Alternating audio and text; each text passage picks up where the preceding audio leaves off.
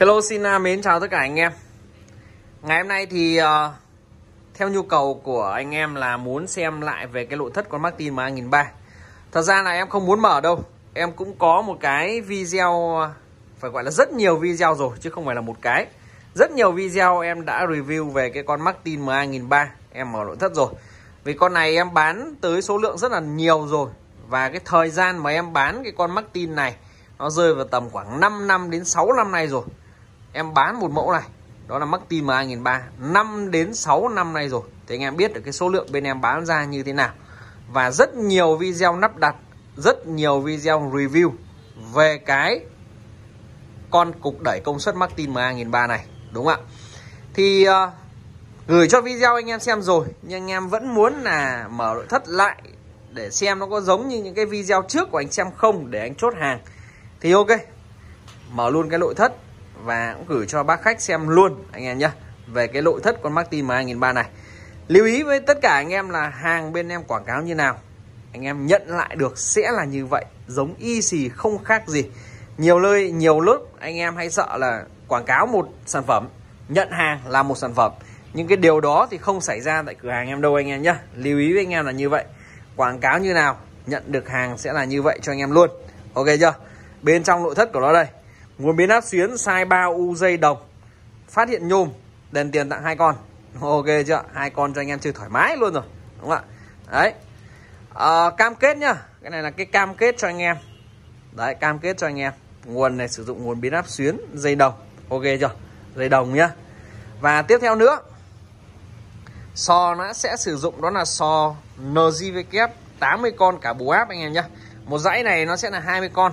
Ok chưa? 1 2 3 4 5 6 7 8 9 10 11 12 13 14 15 16 17 18 19 20 ok chưa? 20 trên 20 dưới nó sẽ là 40 hai vế thì sẽ là 80 con sò NJV kép, cả bù áp. Anh em nghe rõ rồi em? 80 sò, cả bù áp anh em nhá. Linh kiện bên trong thì sử dụng linh kiện chân cắm. Ok cho anh em? Hoàn toàn nó linh kiện chân cắm thôi. Mạch sử dụng nó là CRH và rất nhiều anh em yêu thích cái thể loại như thế này. Đó là CRH linh kiện chân cắm, dễ dàng sửa chữa, dễ dàng vận chuyển, dễ dàng chơi để cho anh em. Những dòng này thì thuộc dạng bao cho anh em bền bỉ, trâu bò anh em nhá. Đấy, bao bền bỉ, bao trâu bò. Nếu anh em cứ đẩy dây rắc loa, cẩn thận. Ấy thì cái con này, nó cực kỳ là trâu cho anh em. Đã vã xúc kép từ 220 con 100 lắp đặt cho anh em đi sự kiện mà vã căng đét luôn anh em nhá. Không cần phải suy nghĩ đắn đo gì cả. Đấy linh kiện bên trong đây. Ok chưa? Tụ thì uh, tông đa thôi. 63V 10.000 mi anh em nhá. Hai tầng nhá anh em nhá. Hai tầng nhá. Trên dưới sẽ là một tầng. Mỗi một tầng sẽ là 4 8 12 16 con. Hai tầng sẽ là 32 con tụ lọc nguồn.